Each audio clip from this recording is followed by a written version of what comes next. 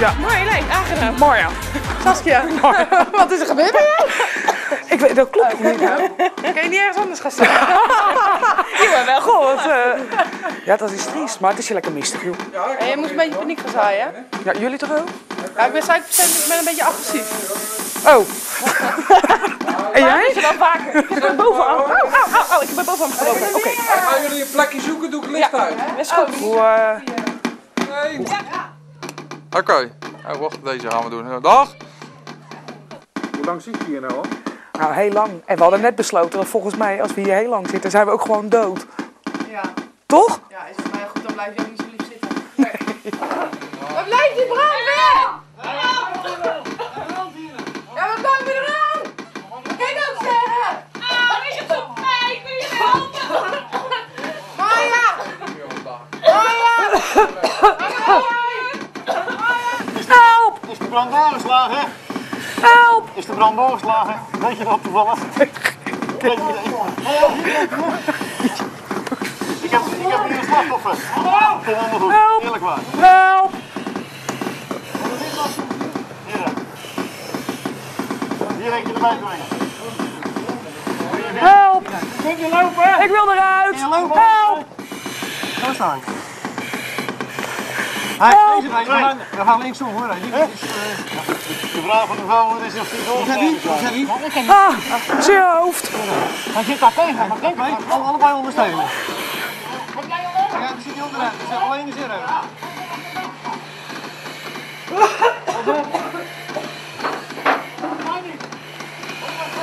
Linksom, ga gewoon linksom. Eh, Neem ik de kinderen mee. Wat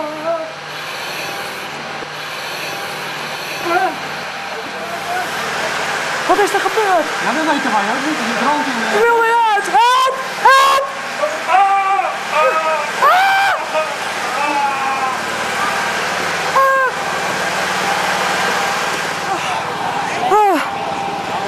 Heb je het koud?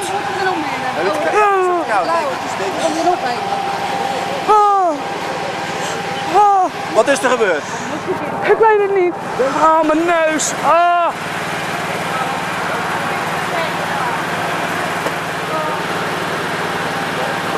Nou, de verwondingen vallen mee. Als ik, als ik, Ah. Ik denk dat je, tot je neus gebroken is. Maar we moeten het bloed er even stelpen.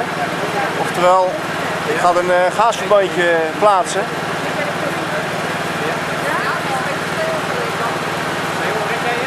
Ja, ik heb een uh, neusdruk. Au! Mevrouw, kent u, kent u hier staan? Zullen we twee proberen te staan? Het is hier een gevaarlijke situatie. We moeten weg hier ook. Ja? assistentie nog of kan u lopen, mevrouw? Kunt u zelf lopen? Ah, Ben je misselijk? nee. Nee? Gaat het weer?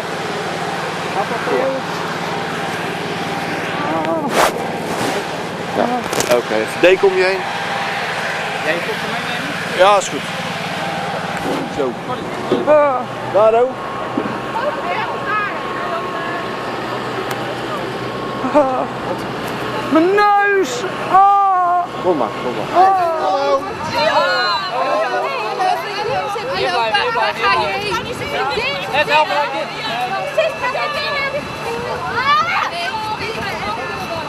Ah. Ik mag niet naar huis! Mag je naar huis? Ook naar huis. Nee, nee, nee, nee. nee. Oh, oh, oh, oh, oh, oh. Kom. Rustig blijven. Ja, kom maar rustig zitten liever.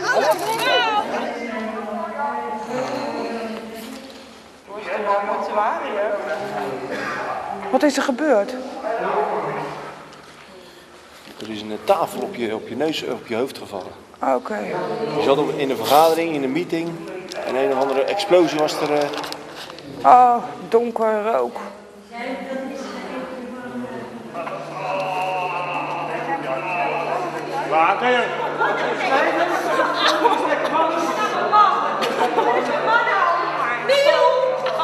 Niel!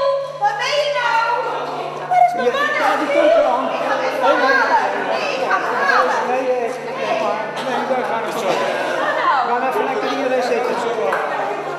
Nou, kom maar.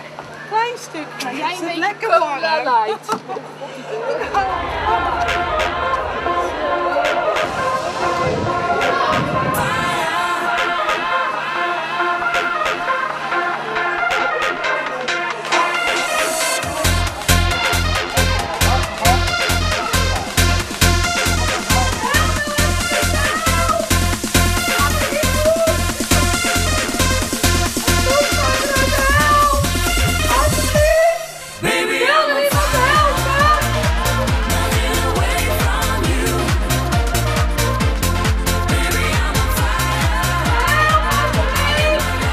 Cor, John, dit was gelukkig allemaal niet echt.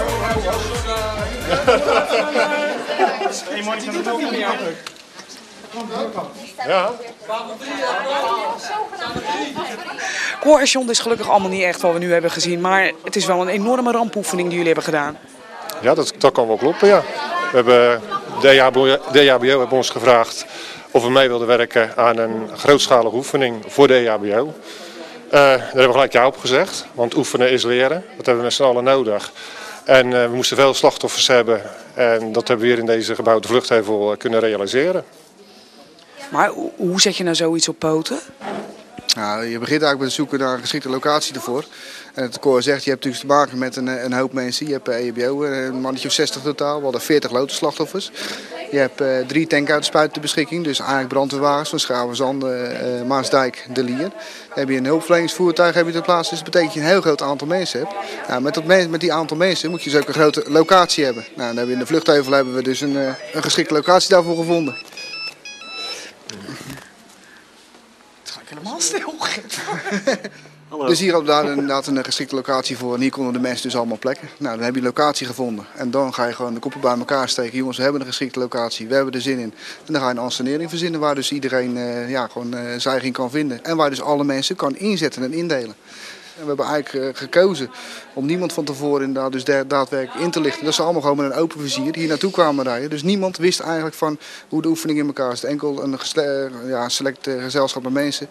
En een mannetje of zeven die wist eigenlijk van de hoed en de rand. Dus eigenlijk is dit gewoon ja, van het begin af aan eh, ja, echt voor de mensen die meededen. Want jullie laten dit ieder jaar, komt dit ook terug hè? Eén keer in de twee jaar eh, zo'n grootschalige oefening zeg maar, met de EHBO. Eh, want het is op een gegeven moment, eh, het moet niet vervelend worden, maar het is op een gegeven moment, je moet toch ook wel je ideeën opdoen. En eh, net wat je er net al vroeg, hoe kom je eigenlijk op het idee? Nou, kijk maar naar de televisie. Volendam hebben we gehad, eh Enschede hebben we gehad, eh, helaas daar in Rusland natuurlijk ook. Dat je zegt, er is gewoon een chaos. En laat dan je fantasie maar gaan om iets op poten te zetten. Dat je zegt, jongens, het is gewoon een chaos en begint er maar aan. Morgen kan het gebeuren, ik hoop natuurlijk voor niet. Maar wat dat betreft, eh, een stukje oefenen, dat is gewoon echt heel belangrijk. Dat je zegt communicatie bijvoorbeeld. Dat is gewoon zo'n belangrijke zaak. Tot in het begin is er gewoon een gigantisch grote chaos. Maar daarna moet het gewoon gestructureerd worden. Want er is gewoon paniek. Maar in die paniek moet toch een stukje rust zijn. Een stukje, een stukje eh, dat je zegt van jongens, zo gaan we het doen, zo gaan we het aanpakken. En dan gewoon kijken van jongens, op zo goed mogelijke manier zoveel mensen helpen. Dat is gewoon het uitgangspunt. Hoe beoordeel je nou het resultaat wat je nu hebt gehad? Oh, dat is gewoon, eh, dat zijn eh, zeker de goede momenten eruit pikken, maar absoluut de leermomenten. De foute dingen, dat je zegt jongens, daar moeten we aandacht aan schenken. En dat we mee gaan nemen in een volgende oefening. Dat je gewoon zegt, daar gaan we weer van leren, daar gaan we gewoon op doorbeduren. Perfect zal je het nooit krijgen, want iedere situatie is anders. Jij bent degene die verantwoordelijk is voor dit soort eh, dingen. Eh, nou, niet ik alleen, eigenlijk ook onze voorzitter en studieleidster. De studieleidster is helaas ziek, anders had ze er vanavond bij geweest. En de voorzitter was op vakantie. Dus vandaar dat ik eh, samen met Ronald een beetje de taak heb, op ons heb genomen om dit ja, uit te beelden. Maar dat staat helemaal los van de EHBO, hè, wat jullie doen. Eh, in wezen niet. We zijn samen met EHBO en ja, de Lotus ondersteunt de, de kaderinstructeur bij eh, EHBO en BHVS. Nou zijn we hier in de Maasdijk. Worden jullie op andere plekken in het Westland ook gevraagd? Eh, op een heleboel plekken in het Westland, maar eigenlijk door het hele land heen. Door het hele land? Ja. Eh, in Nadelden en, eh, en al dat soort dingen voor de grote oefeningen. Maar de meesten vinden dat te ver.